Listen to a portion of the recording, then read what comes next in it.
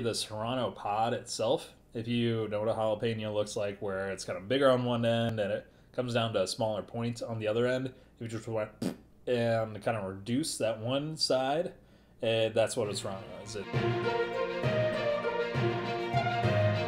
Happy Pepper Thursday, everyone. Ron Fartley here at Fartley Farms, and today I've got my buddy Sal, Sal, Sal, Sal, Sal the Serrano, and he's joining us. Uh, as a featured plant.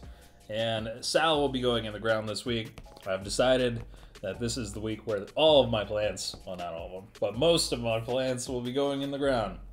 Spent some time on the garden and uh, everything's cleaned up, ready to go. And we're going to have a, like 30, 20 to 30 in the ground this week. Or the rain last week didn't help out at all in terms of hardening off.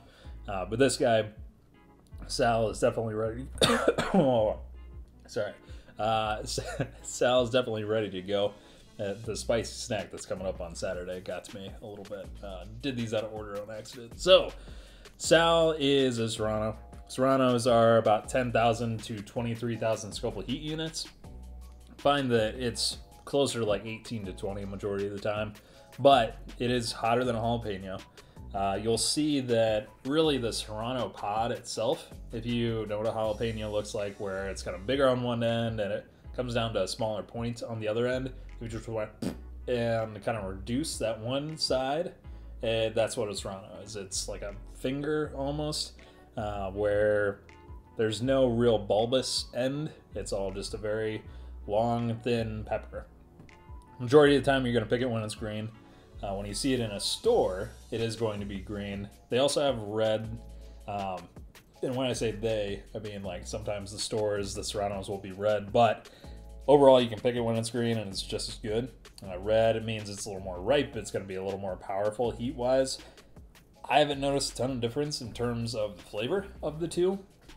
So it's really up to you as you're growing a Serrano plant whether or not you want to wait for it to turn red or if you want to just pluck them off when they're green. Uh, I have enjoyed pickling these. It's one of, I think it's the second most produced pepper in Mexico. Uh, they produce like 180,000 tons per year of different serranos. Um, it is what Serrano itself is like the type, and then there are, I want to say like 10 or so cultivars off of that, so different hybrids of the Serrano. Um, so yeah, overall, really enjoy this plant. It's it's very pretty green, I guess. Uh, you know, you have some pods that like a gnarly, nasty green, like a mustard green almost.